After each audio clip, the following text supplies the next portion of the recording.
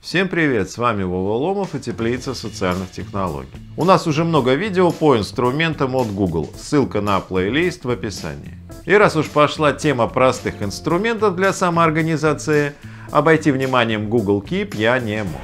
Разобраться с Google Keep можно за 5 минут, а функцию упорядочения хаоса в мыслях он вполне выполняет. Смысл заметок в том, чтобы не писать важное и неотложное на ресторанных салфетках, а хранить где-то в одном месте. Google для этого вполне подходит. Тем более, если вы пользуетесь Gmail и Google календарем. Заходить в заметки как раз удобнее из Gmail. Если у вас нет этой панели, напомню, она может быть просто свернута. Написать быструю заметку можно и здесь, но все обилие возможностей открывается в полноэкранном режиме. Собственно, самими заметками все просто. Создаете заметку, можно добавить еще заголовок, все, заметка есть. Если хотите выделить, можно ее покрасить в какой-нибудь цвет. Сейчас сначала про заметки, потом про систематизацию. Кроме обычных заметок можно делать списки, ну в смысле чек-листы. Вот такой список дел на завтра. Ну и соответственно выполненное можно отмечать. Также можно создавать заметку с фотографией, но совершенно не обязательно выбирать это здесь. В любую заметку вы можете добавить фотографию, это будет то же самое а вот так фотографию можно удалить. Более того, можно добавить в заметку принтскрин, причем прямо из буфера обмена. Это удобно. Для создания принтскринов я пользуюсь программой Lightshot, тоже, кстати, очень удобно. Вот я скопировал принтскрин в буфер обмена и вставил заметку, просто Ctrl-V. А еще можно закреплять какие-то заметки, понятно, что наиболее важные. Еще тут есть возможность рисовать в заметках, но мне кажется, это уже от лукавого а разве что для художников, которым срочно нужно сделать набросок будущей гениальной картины.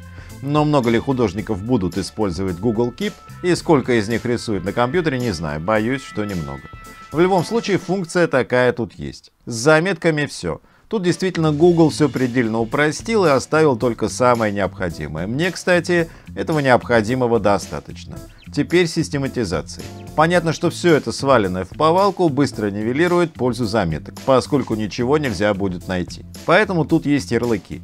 Можно их создать, например, отсюда, отсюда же их впоследствии можно удалить, пока ограничимся двумя. Вот они появились пока пустые. Теперь берем заметку и ставим хэштег, ну то есть знак решетки.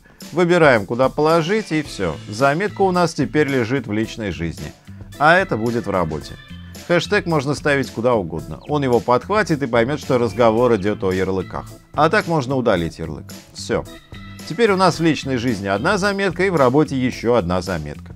Если у вас открыт ярлык, в данном случае работа, создавая заметку, вы сразу создадите ее с ярлыком работа. В принципе, для систематизации этого достаточно. Создаете какое-то количество категорий, что-то важное прикрепляете наверху, и можно с большой долей вероятности говорить, что ничего важного у вас не пропадет. В общую категорию заметки, где у вас все свалено бессистемно, в таком случае можно не заглядывать, чтобы не пугаться. Удалять заметки достаточно просто, выделяете, сразу по многу нажимаете кнопку Delete а в корзине удаленной хранится еще 7 дней. Собственно, на этом можно было бы и закончить, но тут есть еще напоминание. Опять же, не обязательно создавать напоминания отсюда, у всех заметок есть функция напоминаний. Сейчас покажу. Тут все просто. Выбираете дату и время, когда придет напоминание. Он предлагает три предустановленных времени, это задается в настройках, и можно установить свое. Но еще раз, не обязательно заходить в напоминания, у всех заметок есть функция «Задать напоминание». Нельзя сказать, что напоминает так, что невозможно пропустить. Скорее легче это не заметить, но если подключить оповещение от Google Keep в браузере, то вполне себе сносный будильник получается. Google хорош в том числе тем, что не усложняет. Конечно, хочется больше функционала, но в выборе между ничем и простым инструментом я, например, выбираю второе. Все любите друг друга и простые решения. Чаще всего они самые верные. Подписывайтесь на наш канал, оставляйте вопросы в комментариях к этому видео и пишите нам о том, что еще вы хотели бы узнать у теплицы социальных технологий.